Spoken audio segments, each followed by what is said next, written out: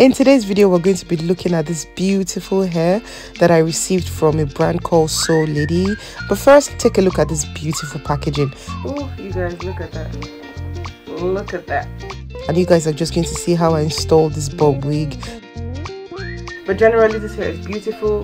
The part is very deep, even from top to bottom, very soft.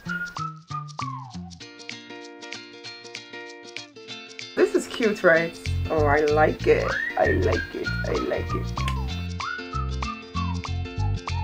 I absolutely love the way I love the way the part is deep. That's absolutely beautiful for me. So yeah, this hair is beautiful and it's from Lady.